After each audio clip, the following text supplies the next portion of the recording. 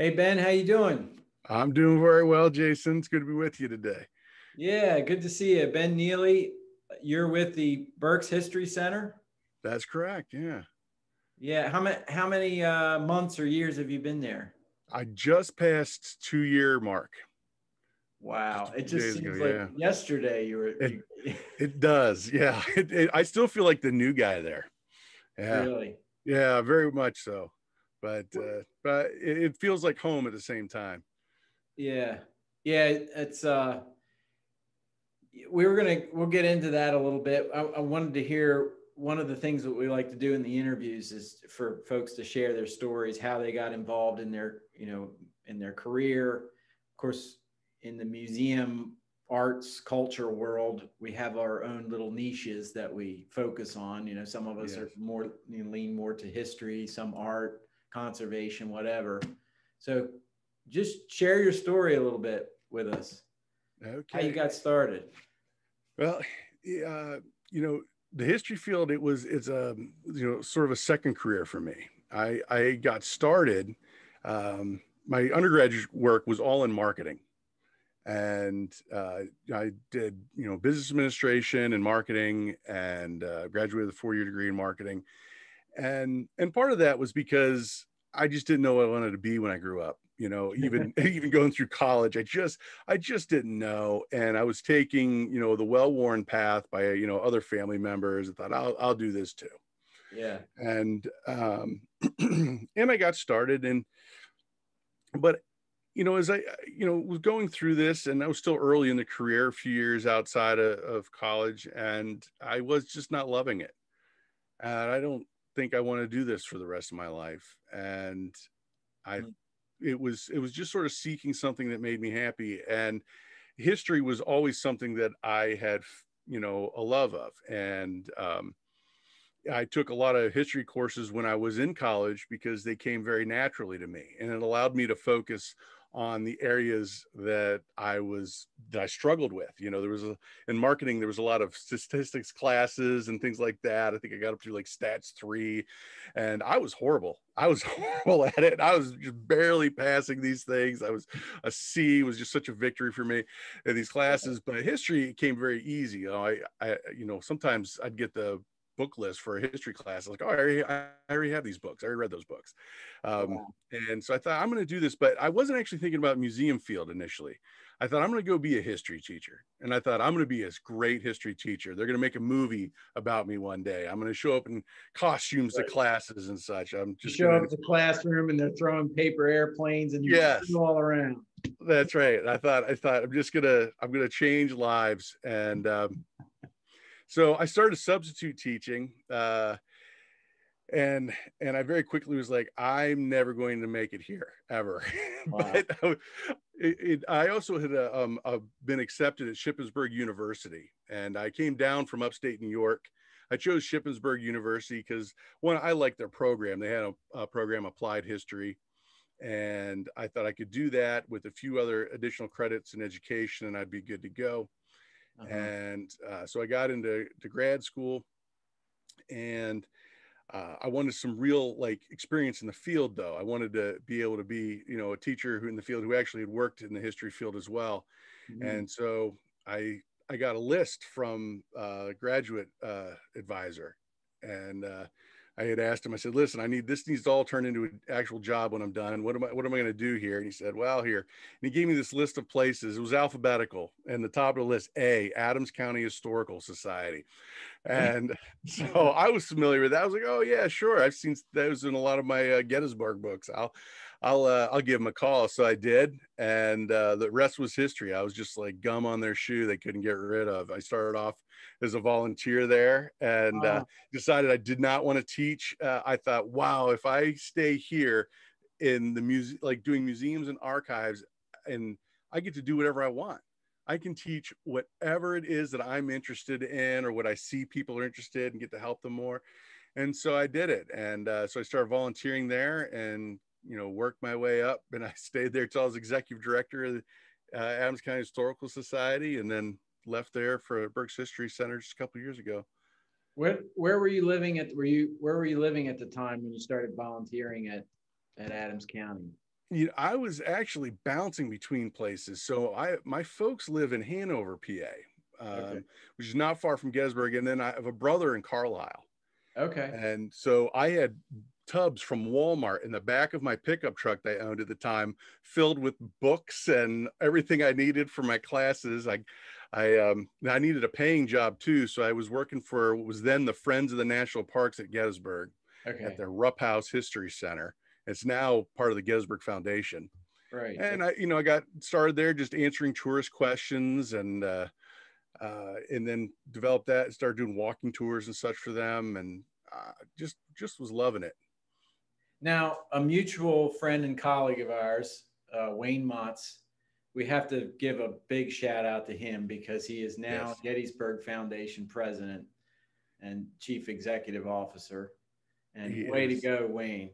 Yes. and he, he had he had a little bit of a stint associated with the historical society, correct? He did. In fact, it was Wayne Motts who answered the phone the day I called to see if I could volunteer. Uh, and he has been my mentor ever since. I I owe so much to Wayne Motts, and he is the guy I call when I don't know what to do. Hmm. Yeah, yeah, I've had some of those um, men, mentor mentee conversations from him to me um, yeah. over the years as well. He yeah. is outstanding individual. Yeah, yeah. So so he answered. You started volunteering, and then um, so from the time you were volunteering to executive director at the historical society how many years was were you involved there? Oh let's see. you're not involved anymore but yeah. Um, boy i guess it was about 14 years or so. Wow. Yeah that was there for a good long while. Yeah. And then how did you hear about uh, berks history center? I had heard that um, Sime Bertolet, uh, was the executive director of the Berks History Center, and he was retiring. And I heard that, and I thought, oh, that's interesting. And actually, I went to the PA Museum's website and checked the job postings there, and I was like, oh, I wonder what the they've got uh, posted there. And I read it, and I and I looked at their website. I thought that's actually a pretty cool place. Yeah, I think I'd like to check this out. So I ended up throwing my hat in the ring, and it worked out. Yeah. Now, Sime undertook a pretty big rebranding and renaming campaign when he was there. Can you can you share yeah. with us kind of maybe a little bit of that history? I can, yeah. So, uh, doing the forensics on this, um, it looked like it took place around 2012, 2013, somewhere in there. And for many years, since 1869 up to that point, it was the Historical Society of Berks County. Okay. Which is actually still the legal name. So okay. we do be, you know, we're a DBA doing business as the Berks History Center.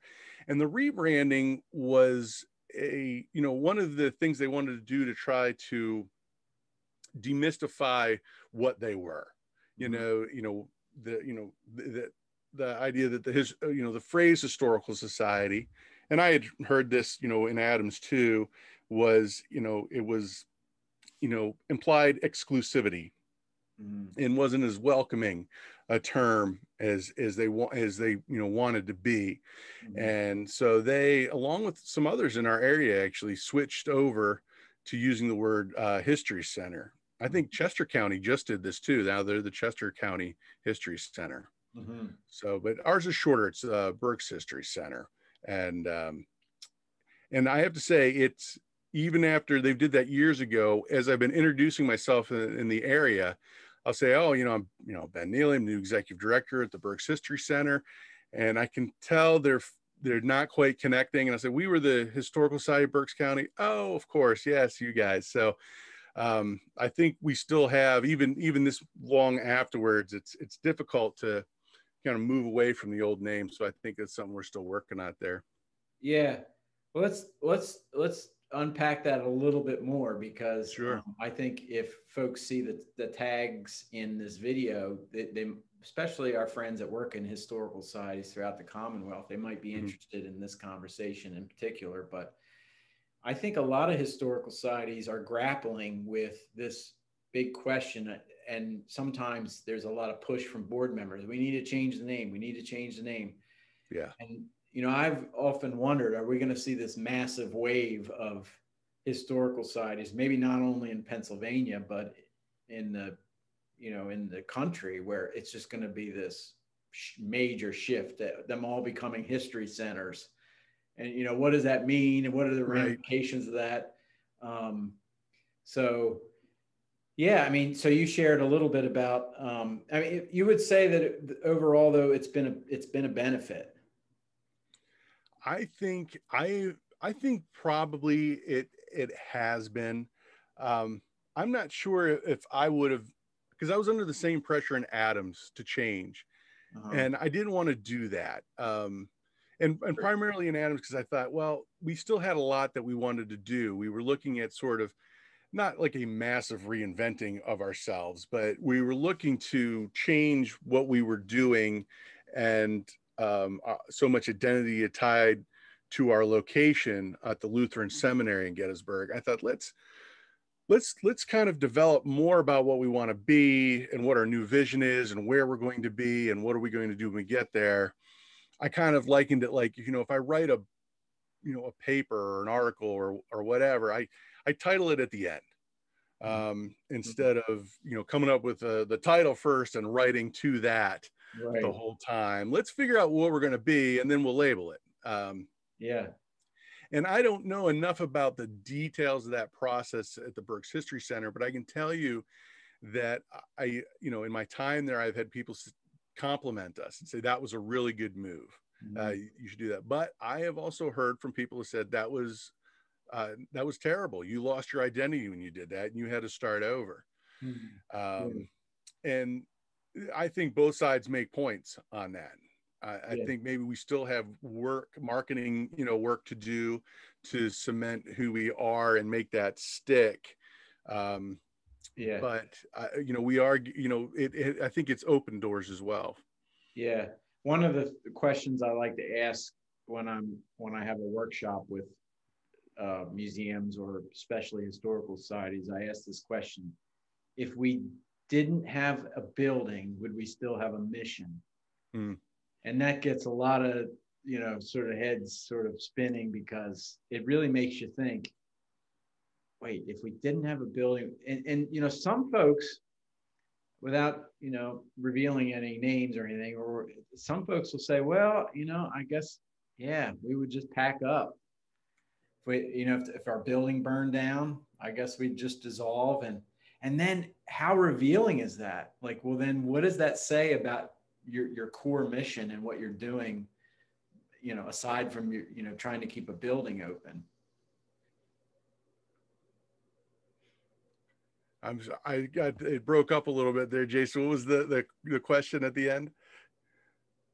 Oh well, you, you heard about the you heard me say about the the sort of provocative question: if we didn't have a building, would we yes. still have a mission? Yeah. Yes. And I was saying, you know, in in sometimes in workshops or in retreats, I'll I'll present that to uh, the staff and the board, and it gets you know people really thinking. And um, there was there was one person in an organization that that had said that, well, I guess if our building burned down, we would just pack it up and dissolve the organization. And mm-hmm. for me, that was very revealing because it just it just really made me think, wow, like what does that say about that person's perspective on their mission? You know, it's almost like keeping the building open. Right. Okay. The the mo and and not the the the core mission behind the scenes it's sort of the the life force behind what what they're doing so but anyway i think that gets mm-hmm. to your point of kind of the analogy of writing the book first uh, and then titling it I, I think getting at you know what the core mission is letting that manifest in its most perfect way however that looks and then and then coming up with the mm-hmm. branding that fits that. I'm not saying that, and I'm, I know you're not saying that's not what they did at Berks History Center. And I, I guess case mm-hmm. by case, right?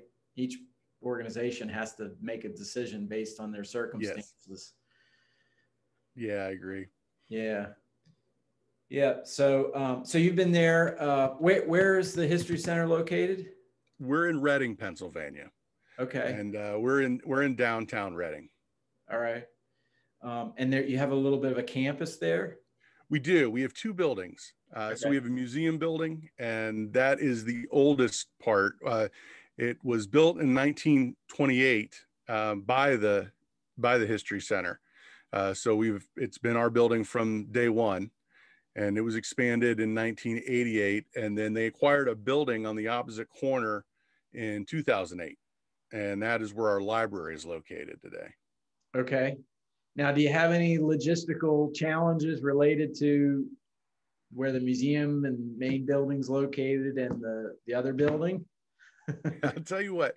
So this is my first experience of managing, you know, one crew in two buildings. And the yeah. biggest challenge that I find is, you know, it's sort of like in, in like silos. You know, it's like the library and the museum are yeah. you know different organizations you know it's you know pulling everybody together and it's not that uh, at least while I've been there, that there's been a lot of internal fighting, whatever. But it's sort of like uh, your building, their building kind of thing, instead of looking at it, you know, more globally as our buildings. Yeah. you know, so it, eh, that I think has been the biggest challenge. But we're we're so close together uh, that you know, logistically, it, it it's fine. It's it's funny just one little tiny street dividing the two places and it's like they're two separate countries yeah uh, yeah and that that has been a little wild to me i was always uh, envious when i would visit uh, chester county historical society and well now chester chester history center or um hope i'm getting the name correct but they have that little corridor that that they were able to build across the that little alleyway or street yeah that connects to that, that other building.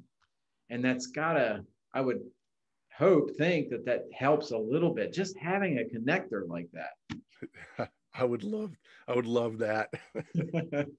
yeah. What do you have? Uh, power lines or uh, something in the way, or just logistically, it's just really yeah, legit. We can't. Out. We have one building that's in the historic district. Our museum building, the old building, is in the historic district, and we are the la- like on the line the library building, I can do whatever I want. I can paint it purple, uh, make, you know, put it, you know, extra stories on it, blow it. I do whatever I want to it, but right. not the museum building. Museum building, everything goes through the historical and architectural review board. Yeah, I can't change the gutters on that one without going through. I don't know how many committees and meetings. I guess you could, but yeah, it takes takes some hoops. Yeah, yeah. So I can't imagine how much heartburn they'd get if I went to them with a proposal like, "Hey, I'm just going to run a you know, passway over the top of the street here, connect our buildings. Do you and what's your staffing like there? We have uh, nine staff right now. Okay. And uh, four uh, full four will be full four full time, five part time. Mm-hmm. How was it? Uh, I guess everybody adjusted to the cl- shutdowns and the pandemic and everything. Did you, you guys did okay with all the Zoom meetings and all that stuff? We did, but I did notice a strain on the staff. Like the morale was low. Uh-huh. And I noticed like everyone seemed really I noticed that just that there was a lot of like people seemed irritated with one another and such sometimes a little easier, a little quicker than normal. And all this and, and everyone was just real tired and i think part of it was like I, I, learned how much business we conduct just by running into each other at the water cooler you yeah. know and those small simple interactions being able to pop into somebody's office for 45 seconds right. instead of like planning like a phone call or sitting down and pounding out another email or or setting up a zoom call or whatever like it was such an effort to do even the the most minor things right. um that once we got back, I noticed everyone's mood uplifting immediately. It was it was such a change just getting everybody back in really allevi- alleviated a lot of that. And I I think what was happening is people were getting stressed and their outlet was to sort of point at what somebody else was doing and say, "Hey, wait a minute, I don't like what you're doing." Um, and but it, when everything sort of came down a little bit, uh, it was it was real nice. Yeah, I think a lot of executive directors uh, or st- staff in general, you know, I think it was a time that a lot of places just needed a lot of compassion and patience yeah. and, and empathy. And I think there was a real from what I've seen talking to colleagues is that there, there was there's always there was this especially during the heart of the pandemic there was this tension where there was sort of a panic kind of setting in. And sometimes that was coming from board leadership of oh no what are we going to do and what are we going to do with the funds? And then you had executive mm-hmm. directors just trying to temper some of that and and lead with compassion and patience. And it's such a balancing act right? It it was my number one priority i was telling the board was we uh, i want everybody to come through this with their mental health intact i don't want work to be this additional worry on everything else that we have right now and yeah. we have important things we need to do and we have legitimate worries concerns here at the history center but our first priority has to be coming through this as whole as possible right. and so and and and it forced me you know i had to let some things go. I really had to pick battles like and you know was very careful you know with you know where i was going to wade in and and you know offer criticism because criticism at some points however construct, constructively offered and how how you know offered with kindness could you know would sometimes put folks on the defensive and it wasn't really what our exchange wasn't really causing it was what they had going on in the background. Right. Um, and I want I, I wanted to alleviate that as much as possible. I, I I knew I could handle the financial end of it, which was the other thing everybody was worried about, and I was worried too. But I felt confident that I could figure that one out as long as we all stayed as a team. We yeah. were going to be okay. Well, and the the uh, some of the funds that were coming, like the PPP funds, I mean, they were, I mean, more paperwork, but they were relatively easy to to sort of navigate yes. and to secure for institutions. I mean, if you worked with your yes. local bank, it was pretty pretty simple. Yes. Yeah.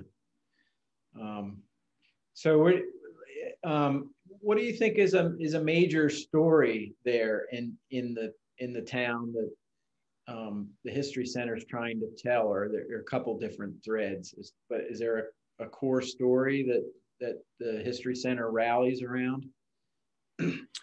I think the this if you go through our museum, uh, there's much of it is developed, you know, is about the early development of Berks County. I would say, you know, a good healthy portion of that is is sort of divided between the earliest history and then there's a leap forward and looks at the manufacturing history in Berks County. Hmm. Um, it, with major companies there like that you know that are that were really famous that I knew from being outside the area, like Palmer Candy and such. Uh, looking at at that, uh, all the all the food manufacturing that was there, and of course the railroad and all that. Those those are some of the big stories that are there now. Mm. Um, I think what's what we're trying to do and focus on is what's missing from that. You know, we have the PA German history story and such. We we have everything covered up rather well up through about 1900, but we really don't have any of the subsequent waves of immigration that have come through, you know, from the late 19th century, or, you know, yeah, late 19th century up through the 20th century kind of is part of the interpretation there. So we're yeah. looking to see what we can do about that. Well, we talked about kind of the the conversation happening in historical sites about name changes. I know yeah. another big conversation is the the tension between telling the the quote unquote local, whether it's the county or town history, versus this, this tension of oh we've got to do something bigger to to attract folks that really they might not really care about the local history. So how do you get them in the door? And I think historical societies are always struggling with how to do that in the right way. Yeah. Um, and some historical societies, um, you know, they can play with some local history and, and cast it in kind of that national light. But, you know, is that really enough to kind of get, you know, the person traveling through the area to come visit you? Right. Yeah. Do you have any other thoughts about that?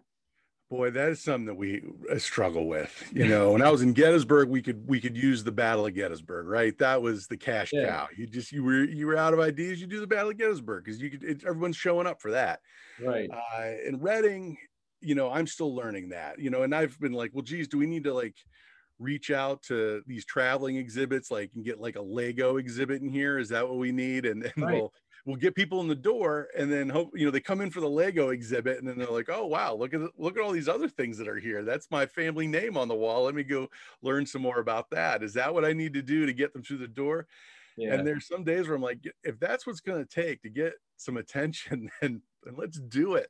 And then other times i'm a little bit more like a purist. I'm like no wait a minute. Right. can't do that. Jesus that's yeah. that's too far. That's mission creep or whatever. But um I think we do have to get creative to see, you know, if we can get some folks through the door. That has to be the primary, or these places don't exist. Yeah. Uh, you know, if we can't get, you know, you know, young generation to get interested in us because, you know, the, you know, a place like ours, the, um, you know, the, the place, the people have supported it, they're growing out and we're going to, we won't have them for too much longer. Yeah. There you go. You were lagging a little bit. I? I I heard this term. Um, I think it was called it was social bridging, where there's like mm-hmm. an example of you're walking your dog in the park and someone else has a dog, and they the dogs meet. Um, I think Nina Simon might have told this story. Um, but the dogs meet and they're like that kind of social bridge where you know you start talking about each other's dogs and oh what kind of dog do you have? And then the conversation shifts to the actual people talking to each other about their life or where they work or whatever and they get really mm-hmm. engaged with one another. I think the idea was like what kind of exhibits or programs create that that bridging for people? Like you know i think i saw somewhere at some museum i think it was a maritime museum where they had like you know come show us your tattoo or something. And then they had a an exhibit that was maritime tattoos. Okay. But they had people come and they could be on exhibit, so to speak, and share the story of the tattoo that they got. Okay. Which might have not, you know, it didn't have anything to do with maritime history. It could have just been a, I don't know, whatever, right. tribal symbol or something. But they it got people to bridge that gap. And that's kind of an intriguing way to kind of approach things. Yeah, I like that. Smart. But it, we're all struggling with it because we're trying to balance kind of putting those theories into practice with the behind the scenes stuff of when's payroll get processed and yes. is QuickBooks updating properly? Is it going to crash our server again? I mean, you don't right. have those issues there, do you? No no none of that ever happens for us we we just focus on nothing but history yeah so uh, you're marketing... oh go ahead ben i was gonna say I, i've joked that i think i my job there is is some days i just feel like i'm the facilities manager I just come in and find out like what broke today. Okay, great. Well, I'll call the elevator guy, the IT company, and the AC people. And that's what, there's my day. Yeah, yeah. I had this running joke for a while where I felt like I, because there's this perception of you know you work at a historical society, you know you're smoking a pipe and reading dusty books all day long. Yes. But I had this running joke where I think I could be blindfolded and they could lift me out of my seat and put me in any other small nonprofit and take the blindfold off and I could just go on autopilot with all of that other stuff that is yes. just not I mean it's so a huge percentage of your time is it's just basic nonprofit business management. That's right. Yeah. so I was going to ask you have you found that your marketing background has has uh, helped you or colored your perspective at all on you know with your work there yeah i think it's been an asset and i was concerned that it was going to be something that always held me back mm-hmm. i thought you know I, I you know because i didn't have an undergraduate degree in, er, degree in history and a lot of my historical knowledge um, was you know self-taught and self-directed that that it was going that i was just never going to get you know too far. But I have found though that it's the skills that I learned there, uh, you know, help me, you know, having that business background and, you know, analyzing, you know, trends and what's going on and, and just, you know, it, you know, looking at helping to read people and see see what they're they're looking for. What am I learning uh, from surveys and such so that I can react to it? Um, it's helped me not move. I, I don't move very much on anecdotal data. I like I like real data, mm-hmm. um, and we'll and we'll seek it out. And I think that is uh, very been very helpful. But and also it's it helped me even even being a curator. Um, you know, I've run into you know you know archivists and curators who you know they are just you know they they're very strict they're within these certain lanes of what what is what you can do and and and they're and they're doing good things they're they're they're there there to protect the collection mm-hmm. and um i would joke i was like listen if i put you in charge of the elevator bill you'll be you know you'll set up a program in two seconds where people making peanut butter and jelly sandwiches with Civil War bayonets, and you're you're going to get over it, and and it'll help you push your boundaries a little bit as to what I was going to do to build access to the collections. How far will I push that? And I would never do anything where I I, I do not want to put you know any collections in harm's way, right. but I will really consider stretching those boundaries if it brings people in and lets them interact with things in a very personal way and less of there's the object behind the glass with a with the excellently written text card next to it um, and yeah. letting them get behind the glass and, and really get into it and strive to get people to, to have some real you know experiences that they can take away. Um, you know if they're not going to remember every name and date i don't care. But if they can walk away with some, something felt um, then i'm happy and um, so I've I've really ended up feeling like the, the marketing has helped me in the end. Just be creative and be open to, to new things. You you mentioned something about um, the the data, and you know I know that um, uh, there's there's a lot thrown at at us when it ter- comes to ideas for marketing. Yes. You know, someone will say, "Oh, if we just had that billboard out on whatever, we, right. we just did this, like that's going to be the silver bullet." And I'm sure there's a lot of, um, you know, you can go chasing a lot of wild, you know, phantom things um, with without having sort of that solid understanding of okay, what's the what's the demographics and the audience and what's the yes. data telling us? Because you, I mean, you can spin your wheels a lot with that stuff. Yes yeah i think i think you do have to do your research and and uh, you know i i always ask probing questions because some somebody come to me and say well everybody wants us to do this. I was like okay well tell me about everybody. Who who's everybody? How'd you come to everybody? And i'll find out that like they had a conversation. Like one phone call got translated to everybody by the time they're talking to me you know and uh, or, or, nobody. the opposite yeah. too. Nobody wants you to do that. Right. yeah. Well, let me talk to nobody. Exactly. Let's let's let them come forward and and and let me have it then. If everybody wants it, then just let me have it. You send them all right to me, and uh, and nobody's coming. So yeah. I, I'm I'm always skeptical of that, and uh, and then it just things like membership is is a big deal for organizations like ours. Uh, I think we could have a whole set of series of conversations about membership.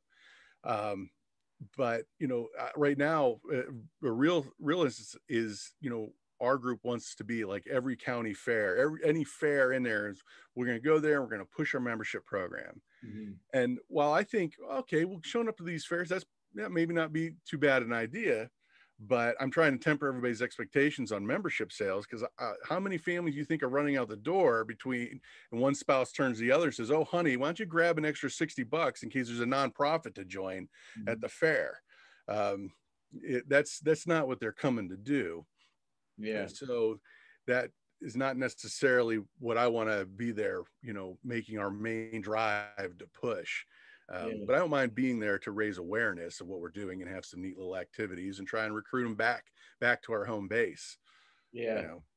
I I was involved with a, um, a decision to print um, what seemed to be like a million books, but we we the the Cumberland County Historical Society was involved with um, uh, publishing a, a book about the history of the car show Okay. And some of you you know Ben. Some of the viewers know that the the car show was huge in in Carlisle, and so we had amazing author and we did this beautiful book and we like we decided to um, publish a i think we i think we published maybe 100 150 of them and we booked our time they got a little booth at the car show guess yeah. how many of those books we sold how'd you do we sold one book over you know, we're thinking there's thousands of people. They love cars. Right. Why wouldn't they want a book about the car car show history?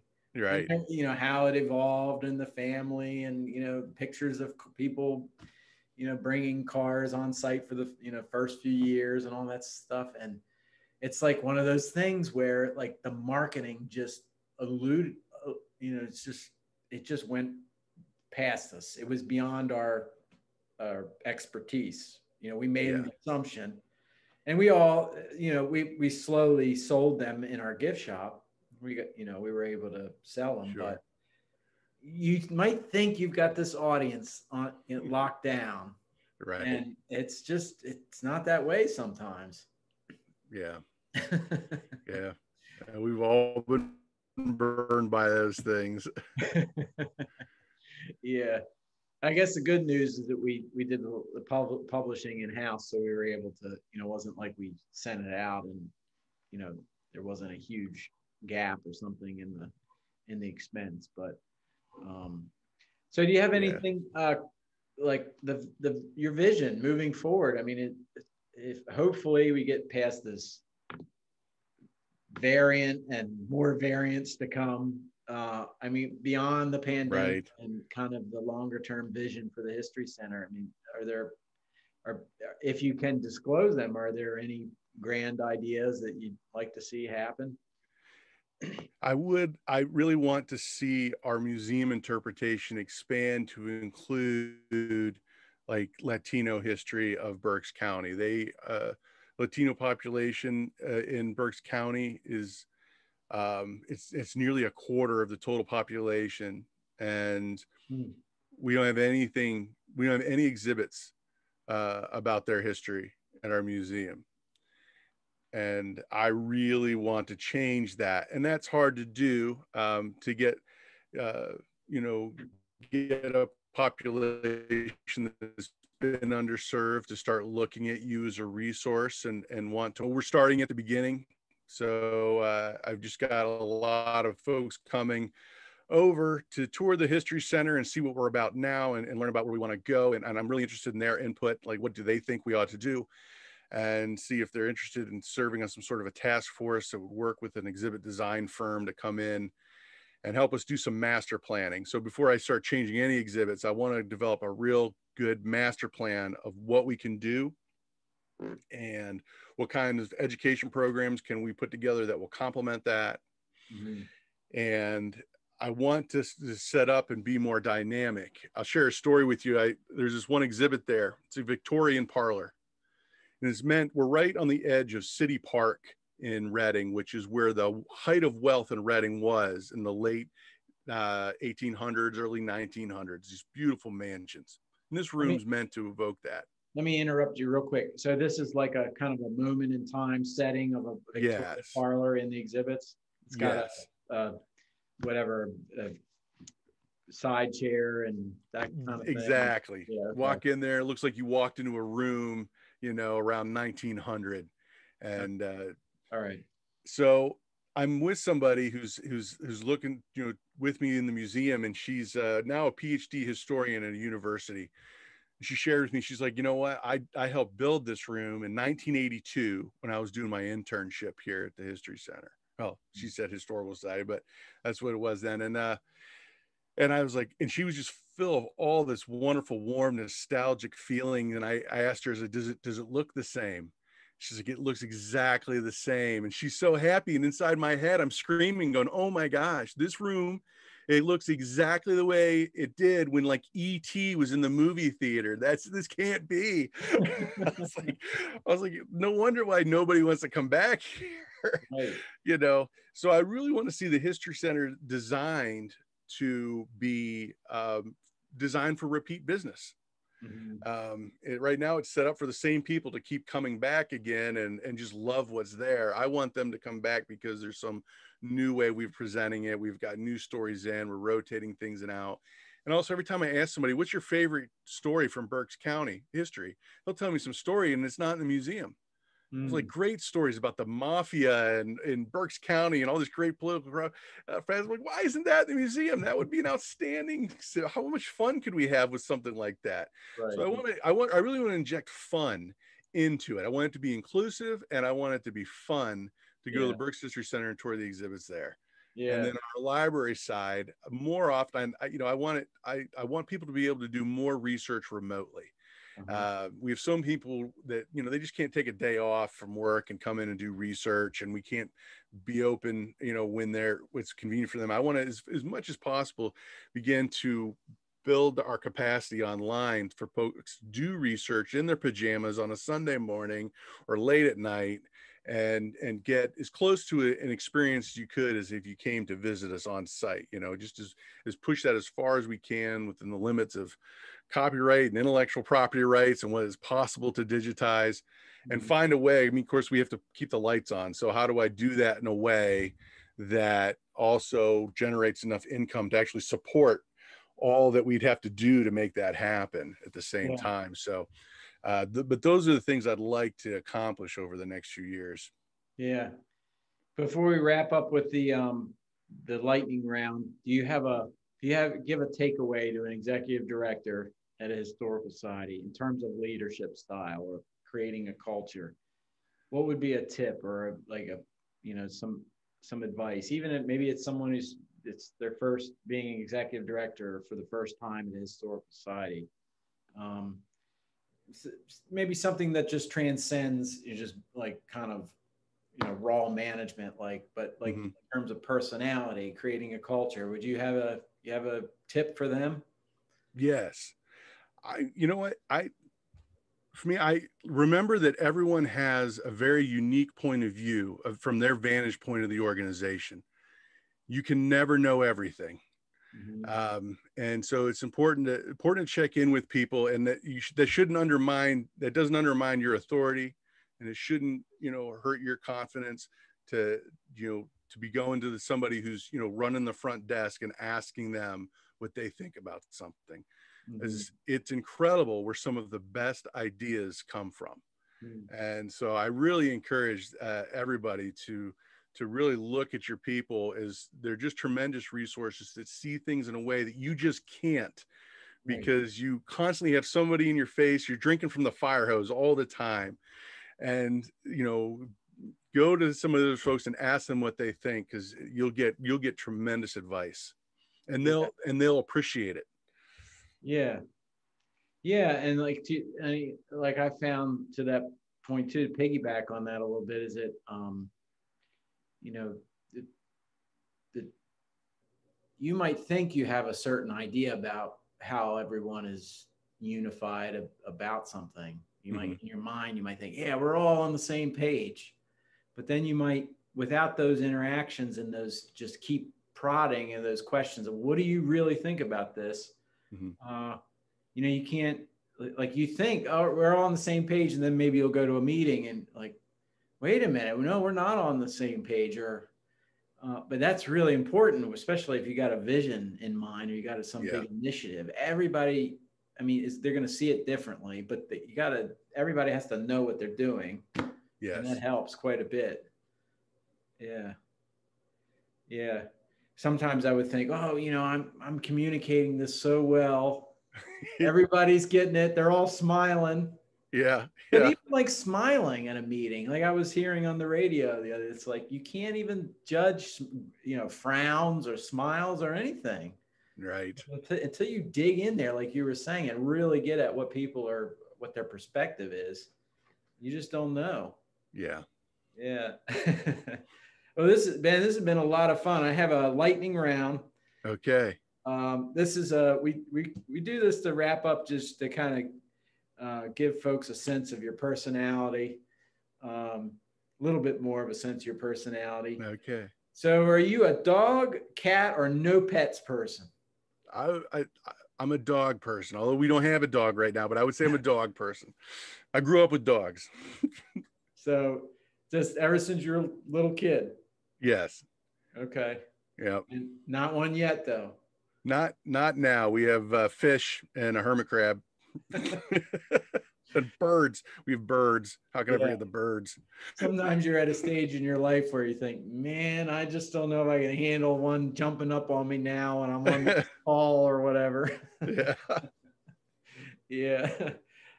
I was always thought, you know, if I if I moved to like a little farmette or something, I would love to have a dog, like just yeah, running around and just give them the space they need and everything. Oh yeah, they're great.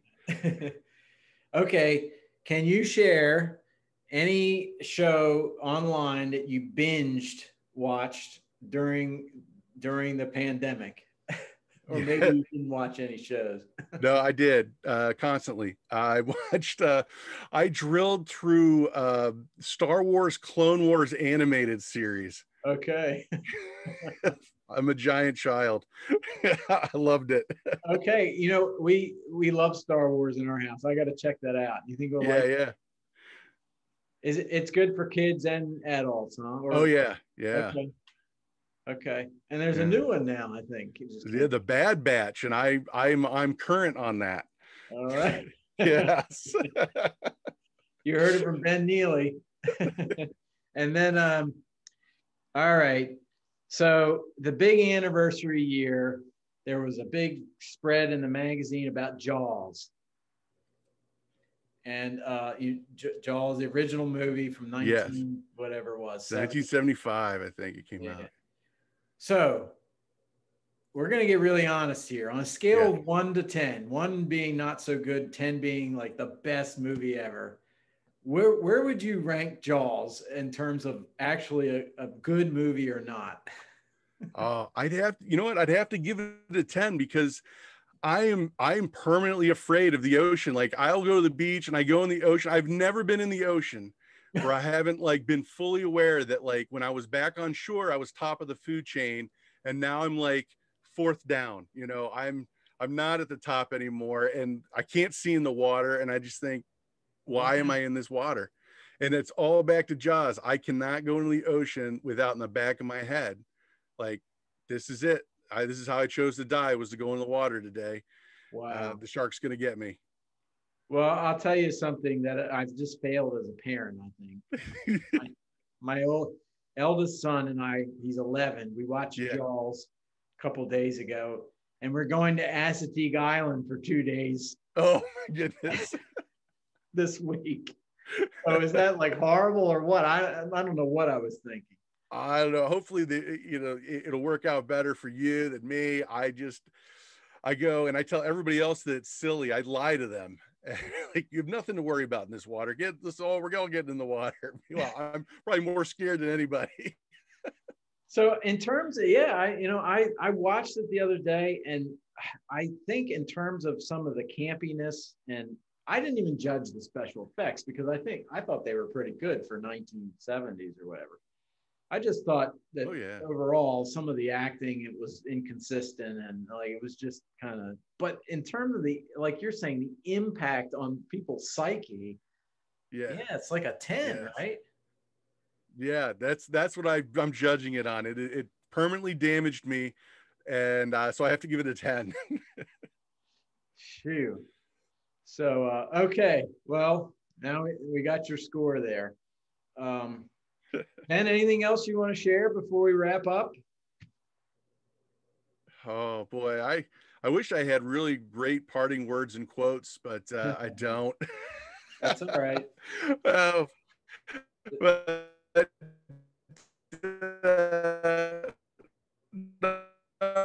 uh, this is really you're really breaking up. nice. I really I, I, I, I think you're saying you know, this is one of the things I appreciated it. Oh, there you go. I was. Yeah. My back. Yeah, you're back. Yeah. So uh, thank you for your service to Okay. uh, historical societies in, in Pennsylvania and at the History Center, Berks History Center, and also your service on the uh, board, uh, PA Museums board. Um, thank you for that work. that Hey, thanks a lot. Yeah. All right. You take care. All right. You too. Talk to you later. All right. Bye. Bye.